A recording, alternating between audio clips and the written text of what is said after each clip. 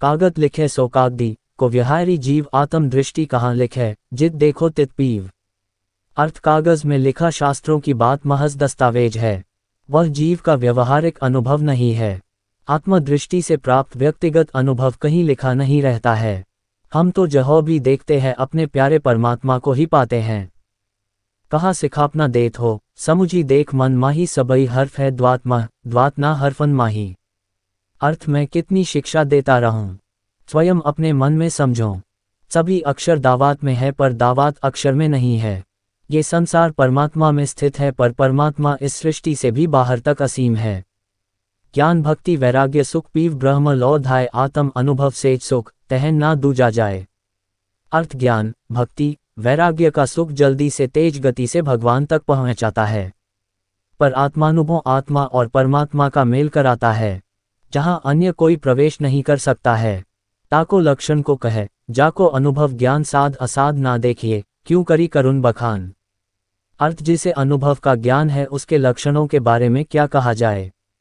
वह साधु असाधु में भेद नहीं देखता है। वह समदर्शी होता है। अतः उसका वर्णन क्या किया जाए? दूजा है तो बोलिए, दूजा झगड़ा सोही दो अंधों के नाच में कपै का को मोही। अर्थ यदि परमात्मा अलग अलग हों तो कुछ कहा जाए। यही तो सभी झगड़ों की जड़ है। दो अंधों के नाच में कौन अंधा किस अंश अंधे पर मुगधिया प्रसन्न होगा? नर नारी के सूख को खांसी नहीं पहचान, त्यों ज्ञानी के सुख को अज्ञानी नहीं जान। अर्थ स्त्री पुरुष के मिलन के सुख को नपुंसक नहीं समझ सकता है। इसी तरह ज्ञानी का सुख एक मूर्ख अज्ञानी नहीं जान सकता है। निर्जानी सो कहिए का कहत कबीर लजाय अंधे आगे नाचते, कला अकार्थ जाए। अर्थ अज्ञानी नासमझ से क्या कहा जाए? कबीर को कहते लाज लग रही है। अंधे के सामने नाच, दिखाने से उसकी कला भी व्यर्थ हो जाती है। अज्ञानी के समक्ष आत्मा परमात्मा की बात करना व्यर्थ है। ज्ञानी युक्ति सुनाइया को सुनी करे विचार सूरदास की स्त्री का पर करे सिंगार। अर्थ एक ज्ञानी व्यक्ति जो परामर्श तरीका बतावे उस पर सुनकर विचार करना चाहिए। परंतु एक अंधे व्यक्ति की पत्नी किसके लिए सच धज श्रृंगार करेगी? पूज सरी की बात है, कहो सरीखी ना ही जेते ज्ञानी देखिए, तेते संशय माही। अर्थ परमात्मा की बातें समझने की चीज़ है। ये कहने के लायक नहीं है। जितने बुद्धिमान ज्ञानी हैं वे सभी अत्यंत भ्रम में है।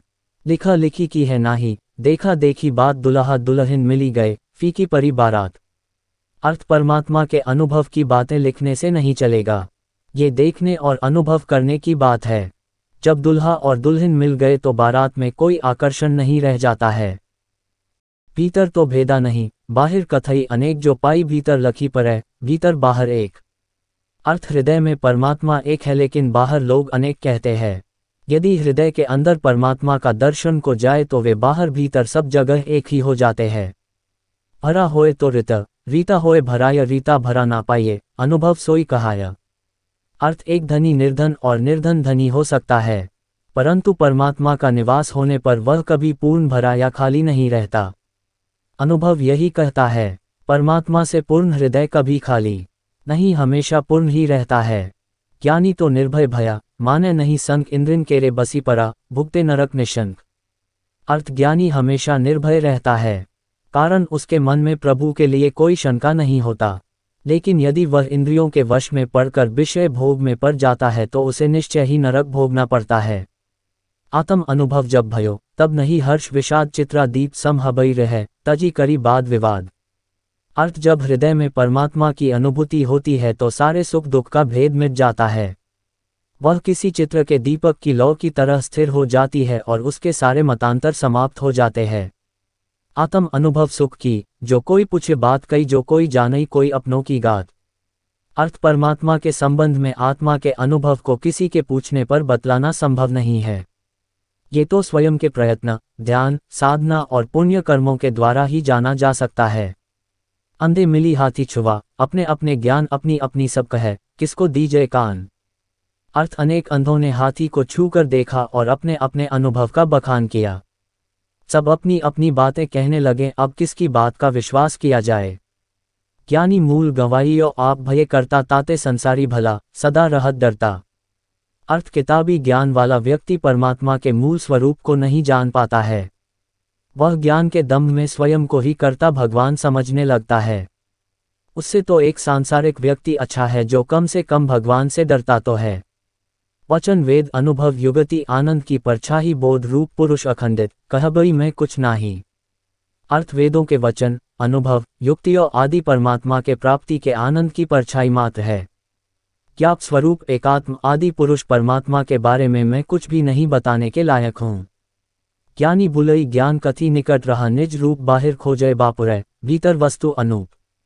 अर्थ तथाकथित ज्ञानी अपना ज्ञान बघारता है जबकि प्रभु अपने स्वरूप में उसके अत्यंत निकट ही रहते हैं।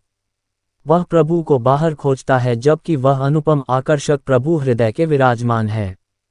अंधों का हाथी सही, हाथ टटोल टटोल आँखों से नहीं देखिया, ताते विन विन बोल।